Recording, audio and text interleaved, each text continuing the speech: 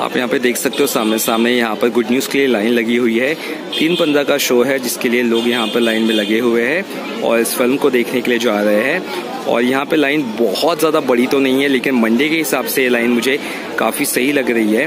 और इस तरह का जो क्रेज़ है, इससे साफ़ पता चलता है कि पब्लिक को ये फ़िल्म पसंद आ रही है। और यहाँ पर देख सकते हैं, लोग लाइन में लगे हैं। लाइन थोड़ी बिखरी, इसलिए आपको क्लियर समझ में नहीं आता होगा। लेकिन जैसे जैसे लाइन अंदर जाएगी, आपको समझ में आया कि लोग वेट कर रहे इस फ़िल्म को देखने का। और ये मंडे का चौथे दिन का सेकेंड शो का मैं आपको रिस्पॉन्स बता रहा हूँ। देख सकते हैं लोग अभी भी लाइन में जो आ रहे हैं। एंड देट शोज़ कि ये फ़िल्म को लोग पसंद कर रहे हैं। और उम्मीद करते हैं कि ये फ़िल्म एक बड़ी हिट साबित हो। और मेरे हिसाब से साफ़ साफ़ लग रहा है मुझे कि ये फ़िल्म डेढ़ सौ करोड़ के ऊपर तो आराम से जाएगी। और उम्मीद करते हैं कि फ़िल्म 170 180 करोड़ जाए तो और भी ज़्यादा मज़ा आए। और लाइन आप देख सकते हैं, ये ख़त्म अभी भी नहीं हो रही है।